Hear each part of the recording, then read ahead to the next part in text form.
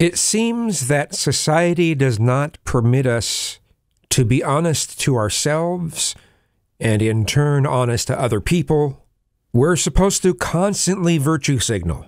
And we're supposed to call out anyone who doesn't constantly virtue signal as well.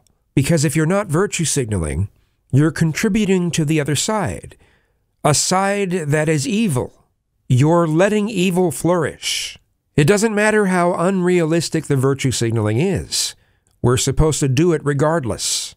We're supposed to do it in every facet of our communication at all times. Because if we slip up at some point and actually tell people how we actually think, we're deemed as evil. And evil apparently cannot be extinguished, just shamed and excommunicated.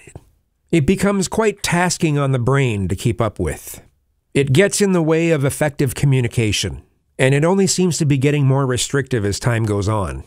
And sure, it would be nice if we lived in the utopia that so many people discuss everything through the lens of, but it's simply not possible. That's not reality. We are humans with biases, lifestyles, and beliefs. We're never going to do anything to make those things go away. We can present the image of those things going away, but people are still going to believe what they're going to believe. We can work towards positive goals, but we need to acknowledge that biases, lifestyles, and beliefs are never just going to disappear. And we shouldn't punish people for simply proclaiming them. We need to find a reasonable balance between what is real and what is simply an ideal. And that requires distinguishing between them in the first place.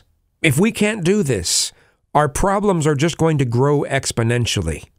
Just saying.